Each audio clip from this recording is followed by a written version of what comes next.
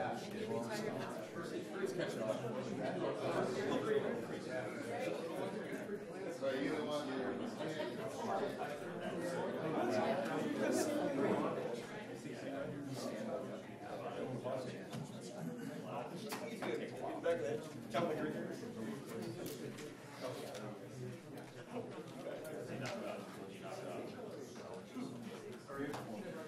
you stop.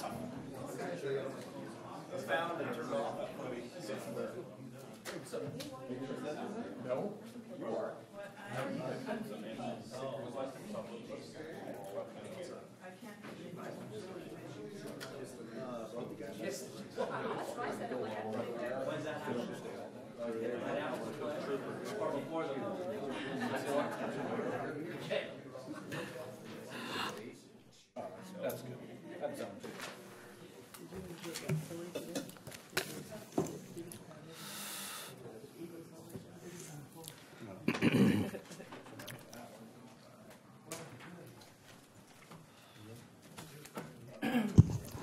Good evening, everybody. We're going to go ahead and get tonight's meeting uh, started. It is Thursday, February 8, 2018, at 6 p.m. We'll do the Sacram- Sacramento Metropolitan uh, Board meeting. Call this meeting to order. If we can start with a pledge to the flag. Director Wood, please. Pledge allegiance to the flag of the United States of America and to the republic for which it stands, one nation, under God, indivisible, with liberty and justice for all. Thank you, Director Wood.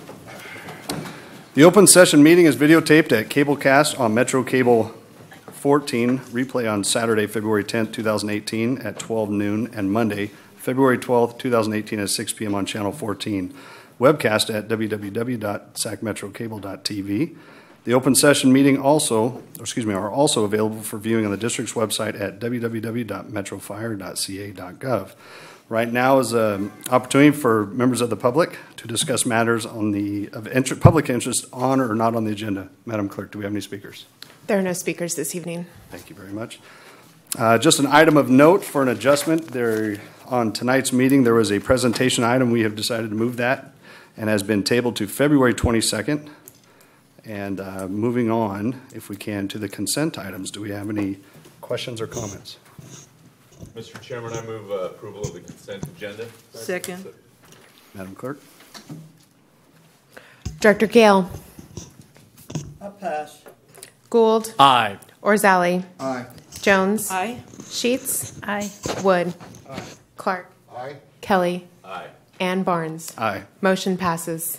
Thank you very much. We'll move on to the reports of President's Report. I do not have anything at this evening, so we will move on to the Fire Chief's report. Chief Harms. Good morning, or good morning. Whew. Good evening, directors. What? Uh, a few things going on within the district. It's been a, a busy first month and a half. Uh, we've had some promotions. We had Fire Inspector Roman Keats, uh, who was a plans intake with us and uh, is become an Inspector One. Uh, with him is a Fire Inspector One, a new hire, uh, Vince Copy. They were uh, both started and both very excited about working in fire prevention. Uh, someone that, if you've been around here for just a little bit, is Cora Zelinsky. Uh, Cora used to be at the front desk and then promoted up into fire prevention and now has moved up into a plans intake specialist. Uh, I think for us here, we've seen her every morning around here. Uh, and even though she's promoted up, she'll be over at Citrus Heights or uh, Rancho Cordova, so we won't be able to see Cora quite as much. Eric Graven was promoted to captain. Uh, he was the last member on the captain's list. Uh, so we promoted, I believe it was 23 captains off of this list. Uh, we've sat down and had some, a lot of discussions, and we'll run the next captain's process after the first of the year, moving forward. And uh, Kevin Wagoner uh, is, was promoted to battalion chief, and that's effective on the 10th. Uh, we also have a, a new office technician, uh, Kimberly McLeod Silva. She was a temp with us and then was able to move over to a new position there. Uh, a few reassignments you'll see is that uh, we came with you and talked about an EMS BC assigned to, to the day position. Uh, Brad Schumacher is in that position, and Kevin uh, or Jeff uh, Malinowski is the new training captain, and he is over there. Um, One thing, just to follow up on, uh, a little while, we came for you and asked about um, a program that uh, EMS had put together about taking EMTs out of the single role program and giving them a path to be able to go to paramedic school, and that we would support them during that time. And for this first class, uh, I was happy to say is we've got four members that are in there. Uh, they just started their didactic portion of it, and uh, that will be January through May. They'll go Monday, Wednesdays, and Fridays uh, all day or until late in the afternoon. Uh, during the summer months, then they'll do some uh, random shifts at the hospital for their clinical rotations. Uh, most of that will be kind of will work with their schedule, so it'll be off their schedule, so they won't take time off for that. Uh, and then their fall months, they'll be doing their field internship. So um, EMS was able to turn that, I think, around really quick, and being able to put that out to the members and get four people into the class, and uh, I think that's a great pro- um, partnership we have with the with the community college there. Uh, again, just the number of meetings going on uh, with uh, staff here and with labor. Uh, my myself and Chief Shannon had an opportunity to go over to um, Salt Lake City, and there was six fire districts, the largest fire districts in the United States. The only one uh, that was supposed to be there but wasn't there was Orange County, and uh, we spent about uh, two days uh, with ourselves, with the chief and some staff from there, and just talking about uh, somewhat about the differences between a city and a district. But you know, what are people doing? Uh, what things are going well? What are some of the struggles? Um, I'll have to say, I go to a, a lot of conferences. That time that we spent together with people that have very similar um, districts or boards um, was very positive. Um, I do have to say, one of them I think said they had 11 or 12 or 11 or 13 board members, so they're working through that. Um, mid-year budget meeting. Uh, we had our mid-year budget meeting and working with that, and, and the finance division is working forward. Um, I believe today, uh, unfortunately, I missed it, but they had their first cap-to-cap meeting. Uh, hopefully, a few of you were able to attend those. Uh, Chief Johnson is, is on that. And probably the most important thing of the report here is this weekend is Fill the Boot uh, for the Burn Institute. Uh, to, or on Saturday from 9 to 10 is the Chiefs Challenge. Uh, my fellow friend from Roseville has called me out on most social media right now. So any help on that side would be greatly appreciated. That ends my report. If you, unless you have any questions. Thank you, Chief Harms. Any questions or comments for the chief? All right, thank you. Operations report, Chief Bridge. And his entourage. Three of them. Yeah. Big, big year last year. Got his own security detail now.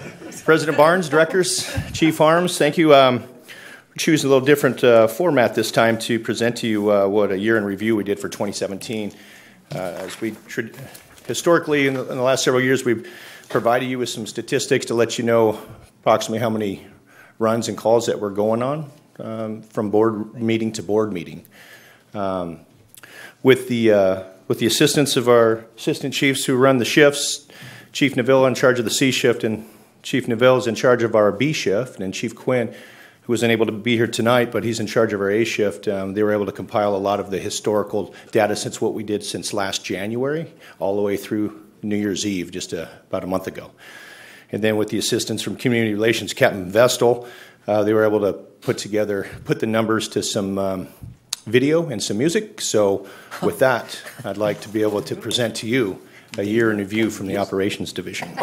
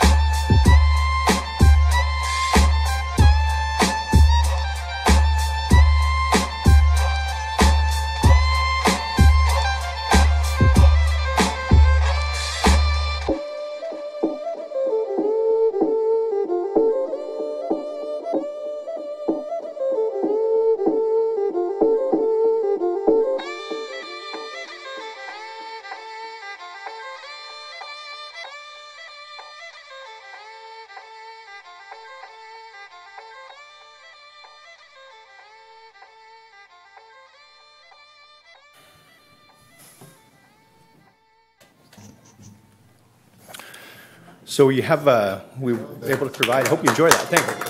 Captain Vestal, thank you. We'll talk to him about the music in the background. Well, I, I, I thought it was well done. It's, I appreciated the work they did. I know everybody gets, I get tired of hearing my own voice, so I said the more videos you can do, the better. I just hit play. I'll come up and hit play. We've also uh, provided you a stat sheet also because I know the numbers fly by there and um, it's hard to retain them all. But um, just wanted to take this time now to put it back to you. And uh, if you have any questions or any questions regarding what, what we did last year. Thank you, Chief Bridge. Any questions or comments? Uh, You know, I have a quick question, just a clarification.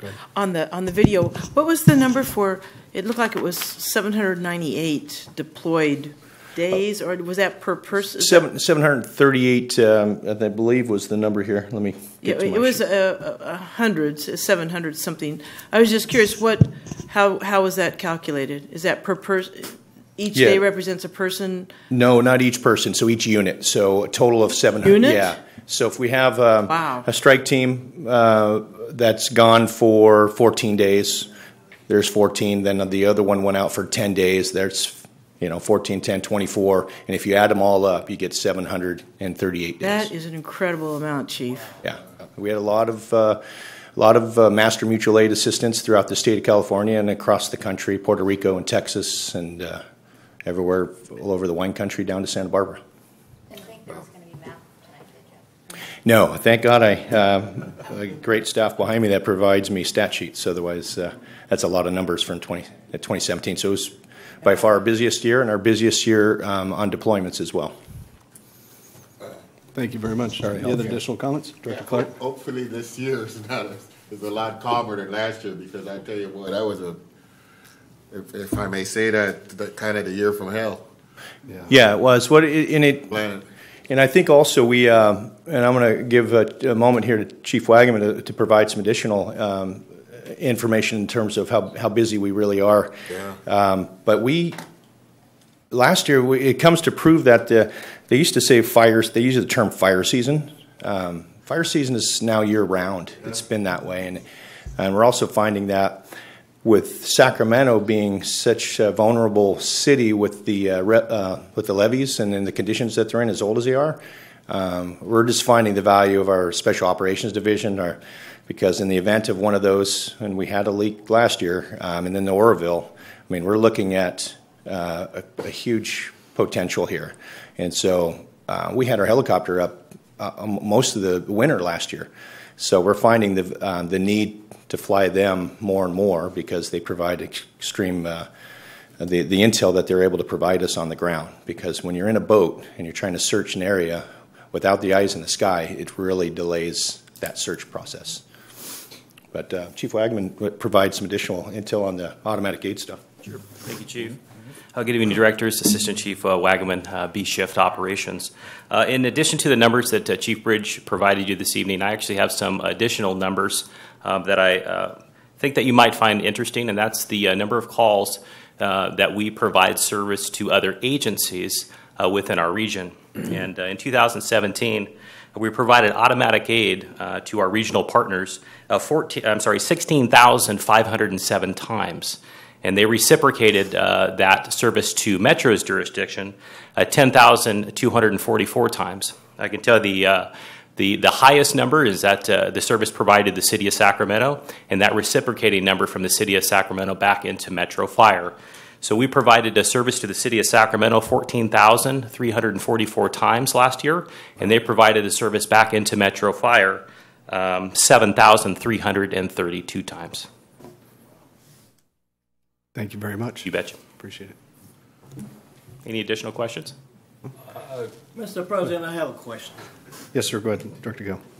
In the past, that we had uh, tragedy in uh, Puerto Rico, which is a province of the United States, and the Virgin Islands had the same kind of thing. They were giving the support to the Virgin Islands, which is in the same vicinity, which is a part of these United States. Yes, uh, members of Metro Fire that are part of the uh, California Urban Search and Rescue Team, California Task Force 7, they were deployed to uh, Puerto Rico to assist in those efforts. I said Virgin, the Virgin Islands. Not to the Virgin Islands, but we did, Why? we were deployed to Puerto Rico. Yeah, they are in the same vicinity and uh, very stable con- uh, area. And I was wondering, and they had the same kind of tragic there, and I saw nothing for the Virgin Islands. I can speak to that. I think too, that in, in the way that the federal system works for the urban search and rescue teams, uh, when, when they call and we're up, we're, we have, uh, there's multiple teams throughout the entire country and there's a rotation. So there was, they probably were provided service from an urban search and rescue at that point from another one of the teams and whether it was on the East Coast or the South. Yeah, that's what I was wondering because Yeah. I saw nothing because I got, as a matter of fact, some you know calls to that Yeah. effect. But I do know that when they call, we go. Of course. Mm-hmm. Well, you Yeah. know, at a cost. It's Yeah, not yeah. a free. You know. Yeah. Yeah. Of course. Thank you very much. Director Kelly, do you have something? Uh, yeah, the video, um, you're not keeping that just for us and yourselves, are you? No, no. I, I Captain Vestal had, had passed on to me that we're going to be uh, posting this on our social media. Already done. Posted on social media now. That's how So, quick he- yeah, he's fast. Uh, Yeah. Sent to news outlets, et cetera, et cetera. Yeah, he's Thank you. does a great job with sharing um, with with this type of information. Does a great job of sharing that where it needs to be shared. Thank you. Yeah, you can do that. Probably YouTube too. Uh, It's on Facebook right now, it'll be linked on Instagram and Twitter as well. Okay. Very good. Thank you. Facebook, Instagram, Twitter. That's it. The only, oh, Snapchat. Yes, thanks, Chief, um, for that presentation. I just wanted to go back and- and have you reiterate the fact that in our mutual aid system currently, it looks as if in some instances, we're doing a two to one. Right. I- In part of that, so that's our, our automatic aid system. I'm sure that's what you're referring to, us for the city. And yeah, so we do. We, we're fortunate with the size of our agency. We're the largest agency. We have the most apparatus, the most equipment. Um, we have the largest geographical area. So um, the amount of calls that are coming through the city, uh, their units are busy and they're running all those calls. And uh, so it just, by the sheer nature of that, we're, we're going Yeah, and and I think it's important that the, the, the citizens of this region understand the role Metro plays in that. Yeah. That right. without that capability, there would be some calls that may be delayed in an answer. And so I think, Yes. even though we have our, our, our border, we really are a regional asset that gets used in some instances two to one Yeah. and that everybody really needs to get that. That I see here 101,000 calls. Yeah. You know, and, and, and part of that is our the magnitude of our responsibilities that go beyond the incorporated area or unincorporated area of Sacramento. So I think that's really important for people to understand that that we're providing services to cities that aren't within our jurisdiction, so to speak. Yeah. And, and that's an important piece of the puzzle when we talk about regionalization of assets and, and, and the role we play in, in, the, in the leadership Mm-hmm. of the fire service in this area. I see that you got a whisper, so I'm going to Yeah. listen to what that was. Yeah, and um, and I'll uh, we have another uh, example. I'll let Chief Neville share with you where we did providing service to the region. Yeah, I think that's what I wanted to hear Just, too. just one passing example. Recently, we provided uh, mutual aid on request to El Dorado County and to the El Dorado Irrigation District. They had an event that uh, severely impacted their infrastructure, their ability to provide water. They were at one point probably about 45 minutes away from losing their water source because of a young man that fell into one of their primary uh, feeders out of Sly Creek. So we were we were part of that solution. Uh, El Dorado County doesn't have any confined space rescue folks that have the breadth or depth that, that we provide. So on a phone call, based upon relationships that we have, we were able to go up there and help be part of that solution for them.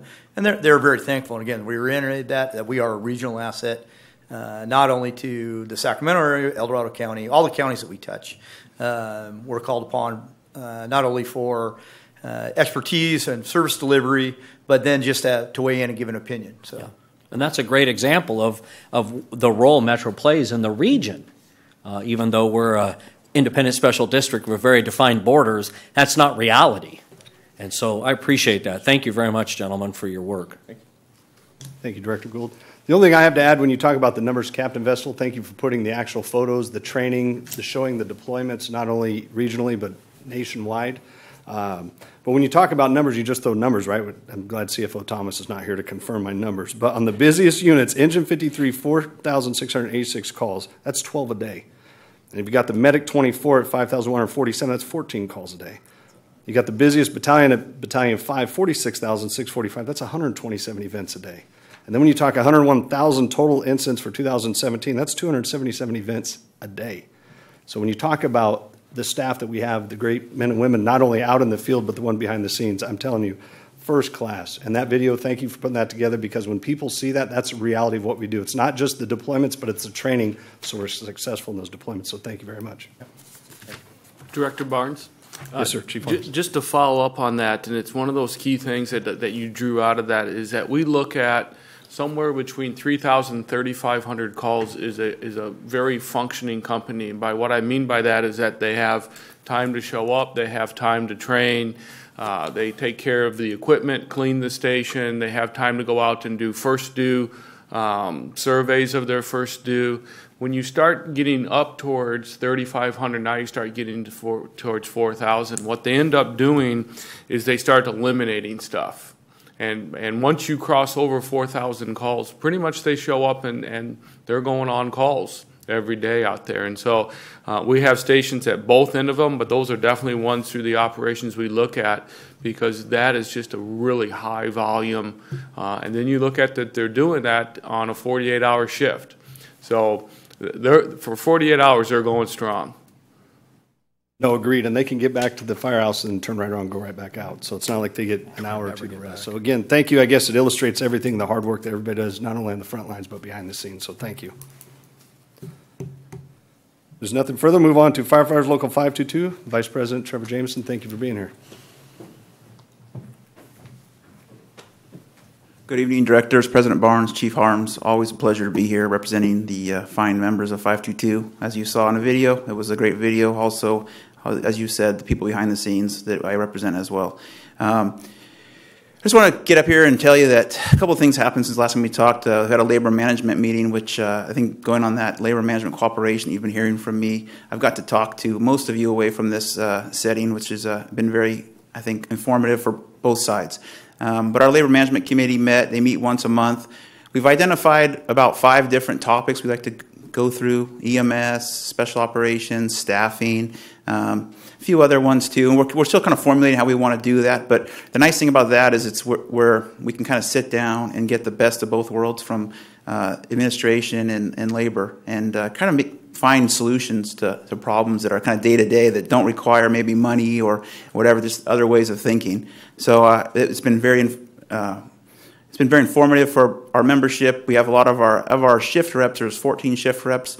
I think the last time we had about 11 of them show up. So it, it's well attended as well as from the administration side. So it's a, a lot of great dialogue.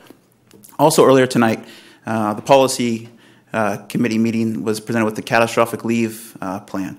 I know it was this pre- presentation item, but it's something that uh, a couple of our members, uh, Captain Brian Barthel and Captain Bryce Mitchell, have worked hard for for the last couple of years. And with the support of uh, Human Resources, Melissa Maddox, and CFO Amanda Thomas, and Chief Harms, it's a reality now, and uh, it's going to be a great plan for our, our folks. Um, really, really, really proud to be able to present that to you. A way to take care of people who a lot of them are the newer employees who don't have the leave built up, and we were, we've been looking for a way to take care of our new employees. So, um, just again, a real thrilled. Uh, the chief and I have talked. We're going to probably do a video uh, to help present that to our, our members. Um, also, and bring in the, uh, Captain Mitchell and Captain Barthel to, to talk and uh, let them know how important it is to membership. And then finally, I just want to say uh, today we, we met uh, down at the courthouse and uh, appreciate everyone coming to the table, uh, working together. Um, I hope I think we're I think we're getting there. So I just want to say thank you for the dialogue. Uh, thank you for coming to the table with us, and I appreciate that. Unless you have any questions for me, that's all I have. Thank you very much. Any questions or comments? Are you happy with the contract? And the negotiation went smoothly? We didn't quite finish today. Today was a mediation uh, over a, uh, a lawsuit. Then we did not get it finished yet. You're not probably going to arbitration, advisory, or I don't know. you Can haven't we, got to that stage yet. can we discuss this any further? I don't believe we can. So I appreciate Yes, your we comments. can. It's the business of the public, and it's a very valid question. I would I've default- done it many times. I thank you, but I'm going to defer to our uh, attorney, Well, Mr. Larver. I really can't say that uh, y- y- y- a board member can't, you know, discuss the fact and existence of the lawsuit. Uh, Ms., uh, uh, Trevor here represents the opposing side in the lawsuit, so from that standpoint, I wouldn't recommend a dialogue between the board on who is on one side of the lawsuit and uh, an individual on the other side of the lawsuit. Uh, there'll be a forum for uh, discussion of the kind of issues and to answer the kind of questions that Director Gale has posed, and that's why we have closed session um, requirements uh, and, and, and opportunities to handle those kinds of issues. I have been to many negotiations with AFGE at both levels and some of the best lawyers around. That question was, how was it negotiating going? That's very definitive. And I believe you said Well, smoothly, then you asked if it was Hold on moving to Just a moment, please. Let me finish. Yes, sir. I've done it many times, AFGE, and that question was very valid. Thank you very much. Thank you. You know, a lot of people run their mouth and talk and has no experience, nothing but yap, yap, yap. Thank you. Very good. Thank you for your comments. Of course. Thank you for the great job you're doing. Thank you, Director Gale. Director Goold, You if you would. Trevor, I have a, a, I have a couple of things. When that um, catastrophic leave policy came before the policy committee tonight, I too uh, want to thank you and, and the members that really participated in all of that. It was a fine policy for all of those that are going to be impacted by it. I suggested a couple of ideas that I would really like you to circle back with Melissa and others uh, relative to the opt-in option that uh, down the road we may want to look at. But I was really impressed with the quality of the structure of the policy, and I'm grateful for the presentation. So I wanted to let you know that. Thank you for all your work, and thank the the folks that were involved in its development. Thank you. Appreciate it. Very well said. Thank you. Any additional comments? Thank you. Appreciate Thank it. You. Okay, moving on to committee and delegate reports. Executive committee, we did not meet and do not have a meeting at this point scheduled in the future. So moving on to Communication Center JPA, Chief Johnson. Good evening, Directors, Chief Harms. Com Center JPA has not met since your last meeting. We meet uh, next February 27th, 9 a.m. in this quarters. Thank you. Thank you, Chief Johnson. California Fire Rescue Training JPA, Chief Shannon. Yeah, I've also not met since our last meeting. Our next meeting is uh, March 15th, 4 o'clock, next door at the SAS. Great. Thank you very much, sir. Finance and Audit Committee, Director Kelly. Uh, The audit committee uh, has not met since we last reported out. We will meet again on the 22nd, I believe it is, something of the nature. Yeah, thank you. Thank you very much. And Policy Committee, Director Goold. Thank you, Mr. Chair. This evening, the Policy Committee met and elected its new leadership. In addition to that, we heard as presentation items the catastrophic leave policy for represented and unrepresented folks. Uh, it was just a presentation item, uh, but we did have some comments and some ideas uh, that we'd like to see in the future uh, integrated into that potentially. But really pleased with the quality of what came in front of us. And uh, we adjourned the meeting, and we are looking forward to scheduling another policy meeting sometime in the future. Thank you, Mr. Chair. Thank you, Director Goold. Okay, before we go into closed session, we're going to go ahead and go on to board member comments and questions. Um, And as always said, we hopefully nobody's sitting out here when we come back. But if, I'll start to my left, Director Kelly. Uh, Mr. Chairman, I would like to uh, help the chief out tonight, so I will uh, dig deep.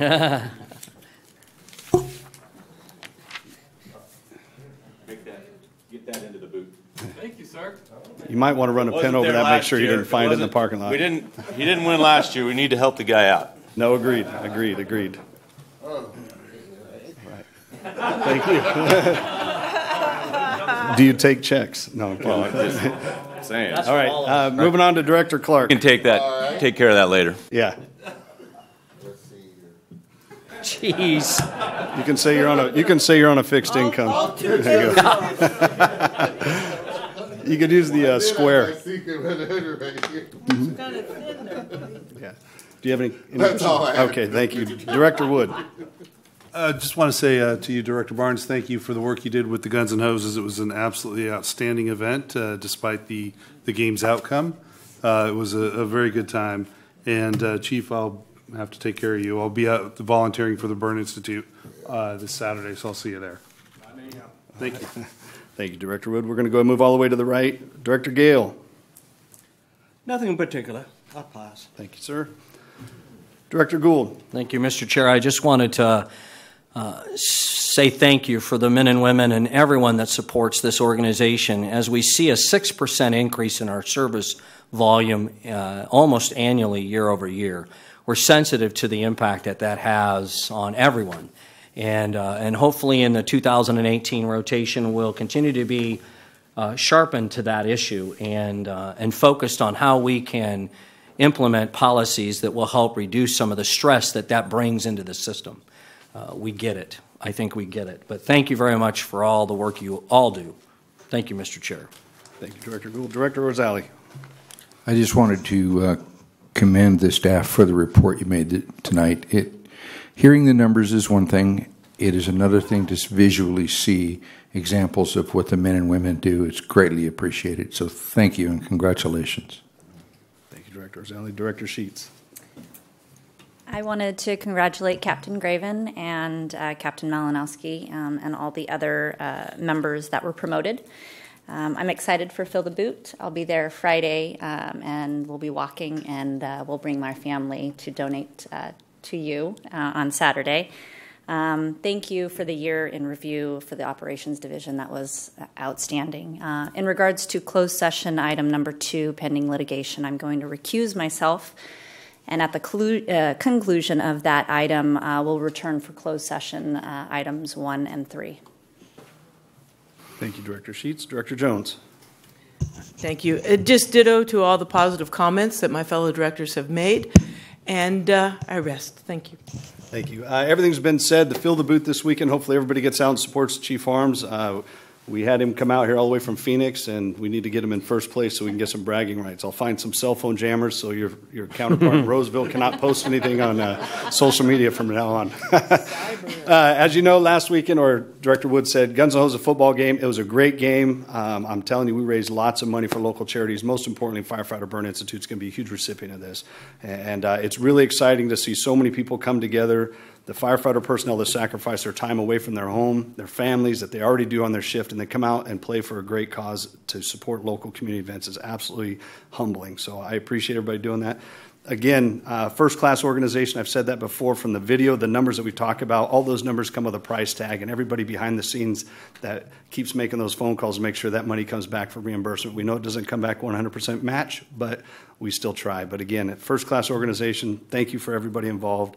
Uh, I, ex- I get excited for 2018 and what we have to offer from that point. So, on that, we're going to adjourn and go into closed session. Thank you.